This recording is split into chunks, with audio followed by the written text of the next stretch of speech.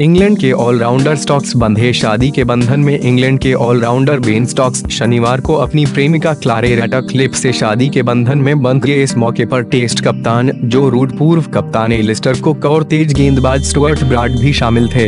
हालाँकि स्टॉक्स के एशियाई सीरीज़ में खेलने पर संदेह बना हुआ है क्योंकि उन्हें पिछले महीने नाइटा क्लब में हुई लड़ाई के बाद उन्हें चोट पहुँचाने के संदेह में गिरफ़्तार किया गया था।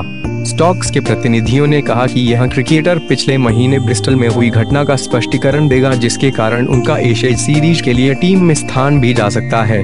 स्टॉक्स इंग्लैंड की टीम के बाकी सदस्यों के साथ ऑस्ट्रेलिया नहीं जाएँगे, क्योंकि वे इंतज़ार करेंगे कि उनके खिलाफ आपराधिक आरोप लगाए जाएँगे या नहीं। लेकिन उन्हें 23 नवंबर से शुरू हो रही पाँच मैचों की टेस्ट सीरीज़ से अभी बाहर नहीं किया गया है।